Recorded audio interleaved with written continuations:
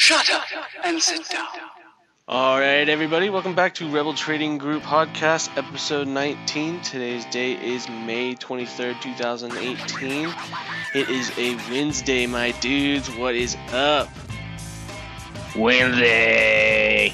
I am Nathan Oliphant, and with me, as always, is the gluten-free Jason the Besson. gluten free Jason Bessing. What is going on, everybody? Hey, hey, hey, hey, hey. Hey, hey, hey, Nathan, how are you? I'm okay. How are you? I'm all right. I'm tired. I'm exhausted. Tired, yeah. Just perpetually on the brink of exhaustion. But it's okay. I feel like that means you're doing something right. Do you like Red Bull? I do. It's the only energy drink I will drink, but it's not my it's not my cup of tea, if you will, because of the amount of sugar. Man, I guess Try to watch the sugar. Sugar free Jason Bessick. I do like Red Bull. Hey, fun fun fact about energy drinks. Did you know Monster used to be a pink sheet over the counter stock? Penny Wow. penny stock? Yeah. Very interesting.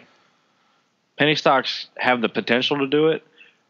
In theory, like what their what their goal is is to go ahead and list and then they'll grow the business so big and then move on to the Nasdaq or the New York Stock Exchange at some other time. And uh, of course, like 99.99% of that never happens, but every now and then you'll get that monster energy. It was like MNSTRQ or some craziness. And now it's just, now it's like sitting in like what, what, the 40s? When's the last time I checked Monster? oh, I don't even know. At 49.92. So, yeah, just I thought that was a little I thought that was a little fun fact for you. I, I never knew that till a couple couple days ago. Okay, well, let's go into market news with Nate. Do do do do do do do do do do do. Hey, okay, so big news for car industry or automotive industry with the U.S. and China. China easing tariffs. Um, I think I saw from like 25 to 15 percent. I don't know. Um, anyways, that was in the news. So look to the auto industry for gains in the future, long-term gains. Like that, that Ford hold sounds like really good right now. If it's paying you dividends and if that, that's that's that that's happening in China. China. I love me some Ford. So you said their car market is going up. Uh, China makes massive cut to car tariffs. Mmm. Ooh. So how is that doing to the automakers today? I don't know. Everything's down today, so everything's everything getting fucked. Even Ford is down one percent on that news. That might. God knows why. You think that would? I don't know. GM down, same thing. No idea. I don't get it, man. You would think that would just make it go, oh yeah, cool. Nope. Yeah, I don't know. Um, uh, I saw another headline today. Um, the House passed legislation that would ease um, bank restri- restrictions from the Dodd Frank Act. Um, look that up. That's cool. So Dodd Frank. Yeah, that's for they were easing restrictions for I guess banks. I think uh, there were some uh, um, some things in this new tax bill that ease like uh, regional banks. That ticker symbol KRE. KRE. Yeah, that's the that's like the regional bank ETF, right? Yeah, small banks kind of. Yeah, I think Wells Fargo is like the top holding though. So Is it really? I think so. It's something like that. I looked at it once. Um, other than that, uh, that's about it, man. So kind of a boring time. Yeah, the market's making a rally up right now. It's it's boring. Like the Dow is down 44 points right now. We're we're It's making its way up, dude. During we're doing this episode during market hours. It's up two so- percent from its lows today. yeah, there was a, yeah there was a little swing. We dropped down below 24 seven, and we're back up above 24 eight. So we're having a little bit of a swing, uh, which is good. But like I said, Dow down 45 points, Nasdaq up 17, S and P down half a point. So boring day, boring me- week, Give boring me month. those. Give me those cryptos, baby. Oh, you want to hear the cryptos? Oh, we are just getting wrecked over at the cryptos. Bitcoin trading at seven thousand four ninety six. That's down eight percent in the past twenty four hours alone. Um, struggling over there. I'm not exactly sure why. This might. This is just part of the ebbs and the flows, though. Lots of red candles forming. Yeah, you on that one sure. day?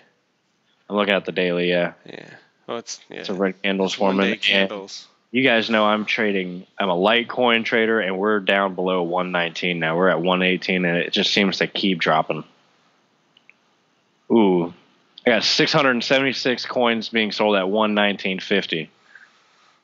You on Litecoin right now? I'm looking at the Litecoin. Yeah. What's Ethereum doing right now? Ethereum to the US dollar is down 13%. She's the biggest loser. She's at 582. Wow. Dude, I sold it this morning around like seven nine. Wow. So on GDAX, do you have to trade Ethereum by the 10th or the 100th or the 1000th? I don't know. What's the minimum? Let me uh, let me do a limit real quick. Uh, See if you can buy 1000.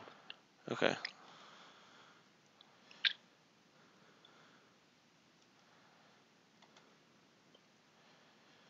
It's um, God, one tenth, one hundredth. So you buy by the 100. So you can buy in like $5 increments right now. I think so. Hold on, let me check. Let's see how much one would cost. Um, yeah, about six bucks. Yeah.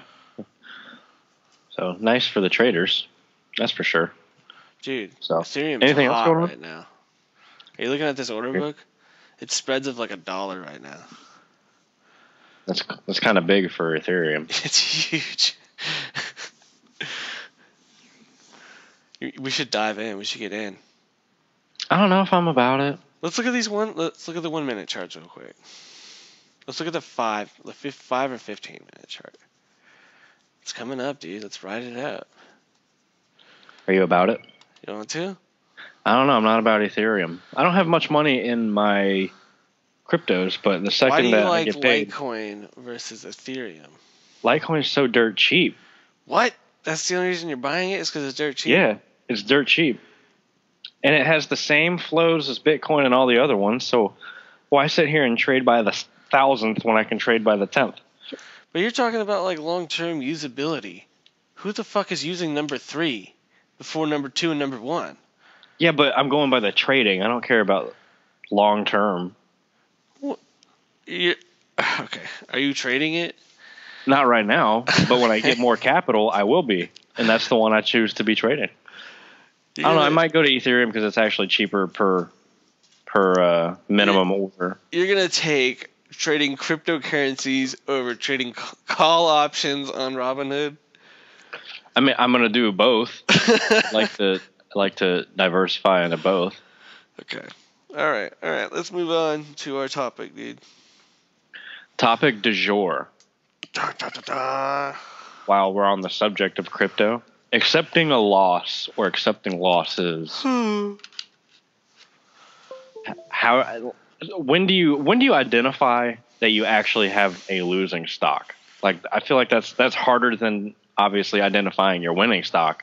But when are you convinced like, oh, it's just a little dip, and then when you're convinced it's holy shit, this is the end, I need to run. So I guess you're giving on the pretext that this is you've picked this stock out for a reason. It's doing it's it's it's met all your criteria and it's time to pull the trigger. And you pull the trigger and then now you're starting to lose money. But your plan was just ride out the volatility. Mhm. But it's coming to the point where I'm having too much volatility. Is that what you're saying? Yeah, basically you bought in and you're just watching it kind of dip and dip, and then it's going down, and then it comes up a little bit, and it goes down. When do you when like is there a, a certain point when you say okay I'm I'm gonna get out rather than buy more or just keep holding and ignore it? So Is there a certain point where you like you start to get nervous and Yeah, of course. For me, I always have a plan. I always have an exit strategy. Mhm. Um, and if it hits it, it hits it, and I just look away, and I don't want to look what the rest of the time it does. Like I'm out. That's my it's my cash. I'm not part of that stock anymore. It's me and my cash now.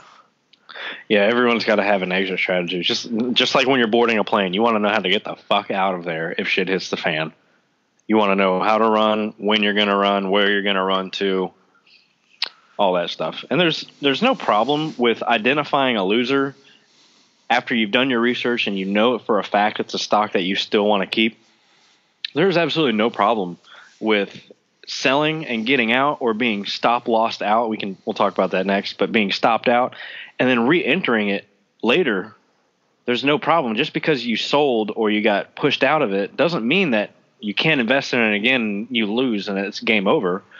Maybe you get out at ten dollars and you let it plummet back to nine fifty before you buy in, rather than just crash the whole time. Or uh, if you're so adamant about the stock and you trust the stock and you're still doing the numbers and it's still hitting your your marks, uh, buy more. Buy more. It, it goes on your your plan with that stock. Why did you buy it? What what were you in it for? Are you in it for the dividend? Okay, usually if you're in it for the dividend, you're going to want to go ahead and buy more. It's cheaper. That's what it was for. Yeah, you're getting a higher yield as the price keeps dropping. But if it's a short-term trade, it might not be a good idea to just keep pushing into it. Oh, yeah. I mean, especially if you're trading options or futures, something that's got a a uh, expiration date on it. yeah, like a next week Ford option. So, at what what point do you identify? Do you have like a personal rule that you use, or maybe like a rule of thumb that you, that you've heard of, or you know that like when when you should start being concerned? Like for me, I'm not start. I'm not going to start being concerned until we're about over five percent from my cost basis. I was thinking That's when I. That's when I start to. That's when I start to kind of raise the flag. Like, okay, I need to do something. I need to manage this trade. Uh, you know, I'm a long-term investor, or at least I I go in with every position with that mindset. So when I go in and it falls five percent, I'm personally going to buy more. But when I'm in my options contracts, um, You're not if I don't, more. I'm I'm not buying more more because risk. there's that expiration date, there's that there's that risk, and there's the fact that hey, I don't know what's going to happen within a week. I'm, I'm willing to take a bet in ten years it'll be higher. I don't know what's going to happen in two months, maybe even ten months. Do you use stop losses? No, I don't. Tell me tell me what a stop loss order is. Oh man, you're gonna make me do this. Do I need to do it? Uh, let me It's hard to it's hard to like it. just explain, but yeah, go for it. Uh, stop loss is the like minimum you're willing to lose, and it puts a market order at that point, right? Mm-hmm. As soon as it It's triggers that that price, it, it does a market order, or or is it a limit order? Yeah, well, there's stop and then there's stop limit. Okay. Uh, so like yeah, with a stop loss, it's exactly like you said. Say you buy in at ten dollars a share, and you say, okay, if it hits nine eighty, I want out. So you can put in an order called a stop loss order, and you put a price below what you purchased in at. So if it's at ten, you put that order in for nine eighty. The second that the price hits nine eighty, it will trigger that order to activate, and it will sell your stock at the market when it, when 980 hits. That doesn't necessarily mean you'll get 980, but it is a uh, that's that trigger price. If you want to make sure that you get out at an exact price at a certain point, you're going to want to use your stop limit order. And uh, it's a great tool to have because it kind of puts robotics on trading. Uh, Automation. automation. I wouldn't. I, you, you know what I was going for? Robotics. it's a way to like robotically enter a position, robotically trade. sure. Oh. yeah. You know what I'm. sense. That's You the know right what I mean. word. Yeah, you know what I was going for. Yeah, it, it's a way to to automation, and it's a way to stay disciplined because you know your emotions will take over with different stocks. I've noticed I like okay with this one I think I'm going to go a little heavier because I like this, and this one I might take a smaller position in. Um, but no matter what you do, when you put those stop losses in, it puts that hard out. It means okay, I was wrong. I got my money back. Let's identify. Was I just was the timing wrong? Was the price wrong? Was there just some sort of event that I couldn't predict that caused it to go up or down? Um, or do I just have no fucking clue? But no matter what you do, that stop loss hits and you're out. It takes that, that emotion away. It keeps you disciplined. And that's the biggest advantage to those stop losses. I I personally struggle with stop losses because I just hate getting stopped out. I, I just I hate it. But what the like I said, the big advantage is that it, it takes that discipline or it it stays disciplined for me. It takes that emotion out of it. It's like, okay, I got stopped, and the only reason I got stopped out is because I was wrong. Um, and But The other- like, I just feel like, I feel like sometimes I overestimate or underestimate uh, my trigger point. Like if I'm doing a long term trade and if it's like a five percent and if it's five percent, but it, it returns ten percent after that, mhm. then I'm up five percent. Yeah.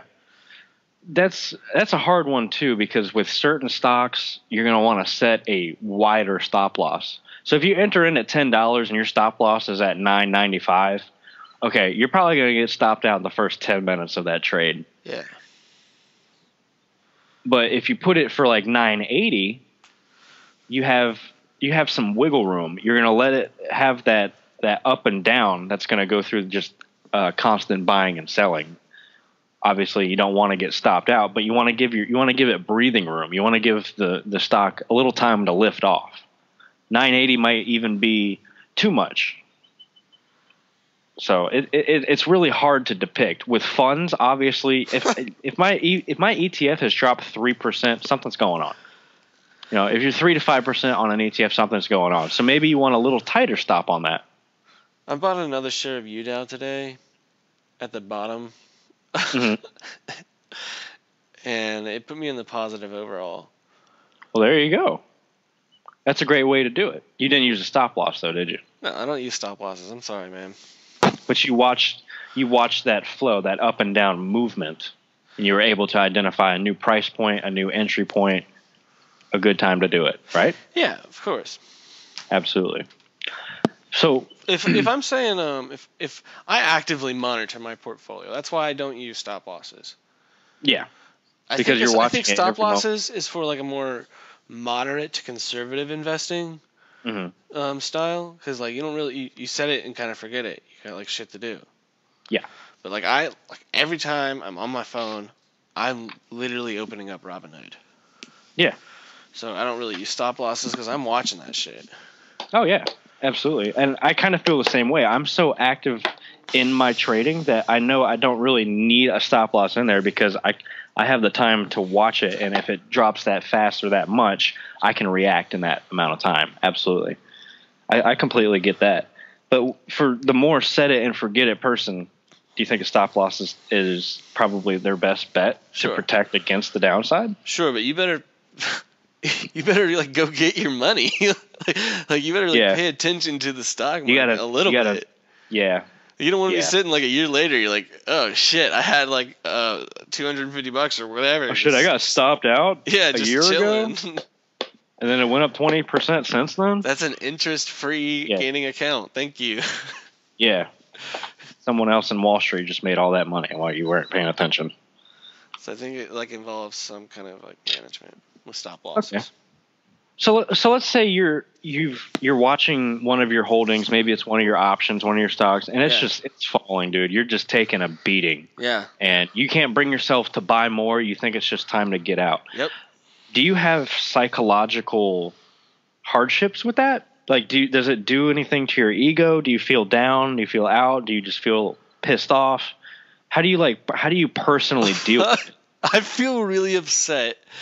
when- Yeah. When, like I'm like really down. Mm-hmm. Like on a bad option play.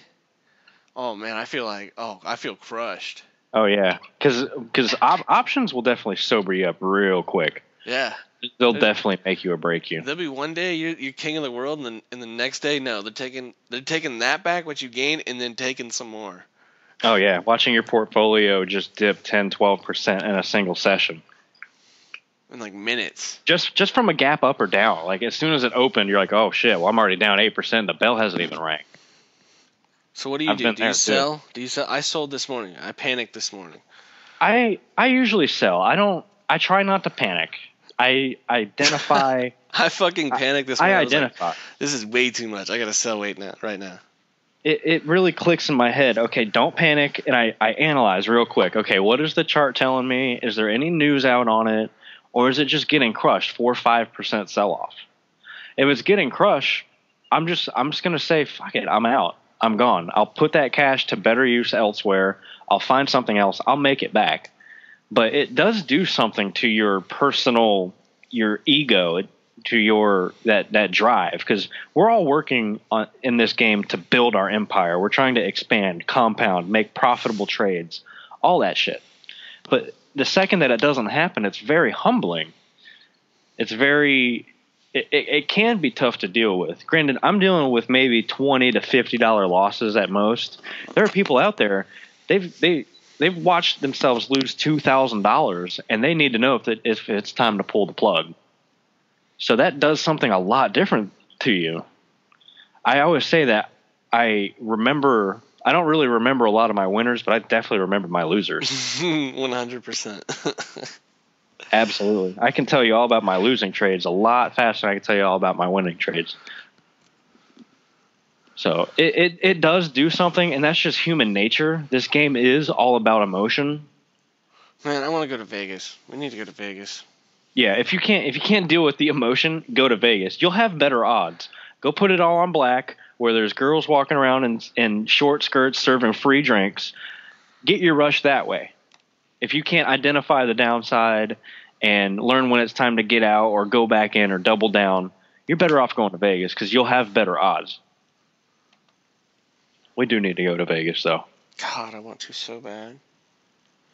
You've never been, have you? No, I just want to bring like six thousand dollars and just fucking gamble on craps. Sit on a for craps s- table? for nine hours.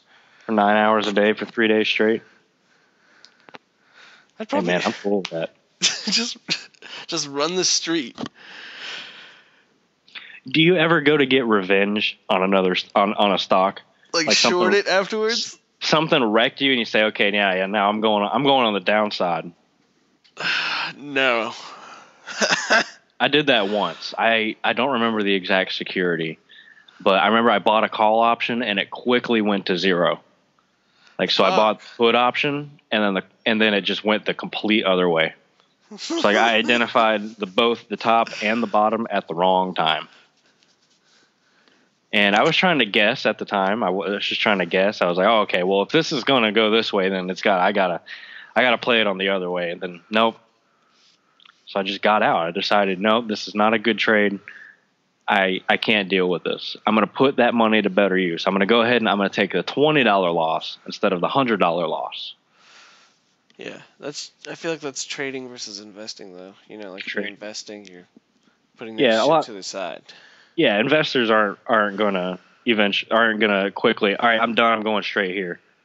Investors gonna see it to the end. They're gonna they're gonna want to see it out. And I also feel like an investor has a much different idea of a loss than a trader does. Because traders, we're just trying to make movement, like make money off of the very small average market gyrations every day. An investor is going for long term 40, 50, 70% gains in 10 year. So a 13% loss for a trader is humongous. But 13% loss for like a long term investment, that might not be too much in the in the grand scheme of things because you know okay, well I've got that dividend and we're riding out the hard times. You, you get what I'm saying? Yeah. So so a trader might see the downside as much more potentially destructive to their portfolio than the long term investor. Can, is, do you think that's agreeable? Yeah, I think so. Especially for someone who watches the market every single day, every every waking minute, or even makes their livelihood from it. Right now, Yeah. Hmm. I mean, we're not making our livelihood. I'm definitely trying I'm, to. I'm watching the market right now. That's what I meant. I'm sorry. When when is that day coming, Nathan? Where I can just call you on Skype at 9:20 in the morning, and we just put on headsets and start going. I'm ready for it. One year from today, One year from today, we'll be there. May 23rd, 2019. Welcome back to episode 200. 274. What's up, people? what if we I sound really hope weird? I hope. Yeah, we're all like we've been cracked out since then. yeah, that is uh, that is funny though. That is funny. All so man. accepting losses. Anything else you kind of want to add to that? I think, I think that we covered it. it. Yeah. Uh, one thing I wanted to cover. Have you ever? I know you haven't really dabbled with too many other brokers, but are you familiar with the idea of the trailing stop loss? Um. Yes. As like as soon when it like as when your stock price rises, so does your stop loss target price. Uh, that's exactly what it is. So just to use that ten dollar stock price again, you get in at ten dollars and you put a trailing stop loss for twenty cents. So right now, that means that your stop loss would be at nine eighty, nine dollars and eighty cents. So if your stock moves up to ten fifty, now your stop loss stayed twenty cents behind and went up to t- to ten thirty. Now let's just say something happens and it drops to ten twenty nine. Well, now that it has hit ten thirty with the stop loss, your stop loss will pull you out at 1030 and you'll keep those profits. So it's a way to really ride the tide and then the second it it starts to hit the downside, it cuts off. And I think that is one of if one of if not the most valuable way to use a stop loss. Um, In fact, I would I put those on almost every position I have on my E-Trade account. I was say they don't have it on it- Robinhood. That'd be nice. No, no, they don't. Maybe one day, but it it is beautiful. It is a great thing to have because it just it not only does the stop loss take the downside away, but the trailing stop loss takes the thinking out of it and just lets it lets you catch all of the upside and cuts off that downside really quickly and it does it all for you. Some brokers will charge more money to do trades like that, but uh, E-Trade definitely doesn't. And I think that is one of like I said, if not the best way to cut off that downside via a stop loss. Well, that's a podcast, man. That's a fun one. What uh, what are you watching this week? Are we? Are you watching a crypto? Do you want me to go first? Go ahead. Yeah, I, forgot what I was Okay. gonna say. No, you're good. Let me go ahead and pull I mine remember. up. I remember. Oh, oh, you go first then. Oh, I forgot one little bit of market news and Nate, but this will fit in with my ticker symbol. Oh, okay. okay. Um, ticker symbol XLF, the financial sector ETF. Uh, stocks basically, or the Fed basically said, uh, for the next meeting, it's a go for rate hikes. So, I'm buying banks now because when the the interest rate goes up, that's their borrowing rate when they loan out loans. Mhm. That's more money coming in. Yep, absolutely. With the with the raising, excuse me, with the raising of the interest rates, variable rate items such as credit cards, um, mortgages, maybe even some student loans, are going to. wow, excuse me. Ugh. Dude, the pollen here has been absolutely destroying my allergies. I am sorry. Whew. Anyway, uh, where was I? I? What was I even talking about? I coughed out my thoughts on that one. The federal interest rates and stuff. Oh yeah, so as those rates increase, so those variable rates will also increase. So while it's not all dark and gloomy, savings accounts are going to go up, uh, treasury bond rates are going to go up, CDs are going to go up. Um, so if you're an interest payer, you're going to pay more. If you're an interest maker, you're also going to make more. No, that's not true. If you're an interest payer, you're going to pay more. If you're an interest maker through one of those types of securities, you're going to make you're going to see higher yields. But that's But the idea behind the interest rate going up is that the economy is doing better. They're doing, yeah, they're doing. It's actually doing um, very well. I saw that they're going to allow it to get over two percent. The uh, inflation rate is going to get over two percent, just for a little bit. So they are pumping the brakes on the economy. They're trying to pull the money back into the system, and that's okay.